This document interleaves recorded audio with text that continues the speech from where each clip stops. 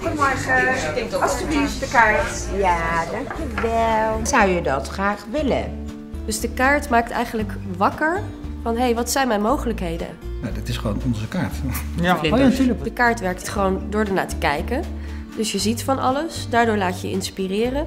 Dan draai je hem om, krijg je nog wat aanvullende suggesties en vervolgens kijk je op de website waar je nog veel meer kan vinden.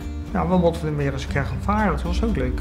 Voetballen, dat moeten we nog een keer doen. Dat, zou ik kunnen eens als je tijd had.